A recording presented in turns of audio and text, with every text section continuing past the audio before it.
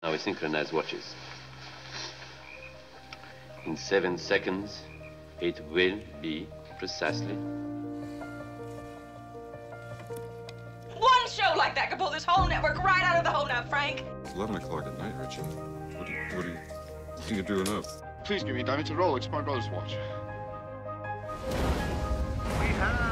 To see the sad ruin of the great ship sitting here, where she landed at 2.30 in the morning of April 15th. What do you think?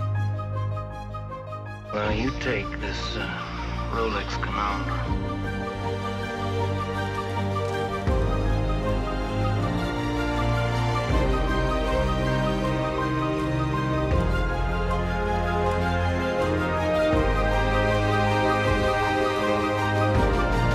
just about now.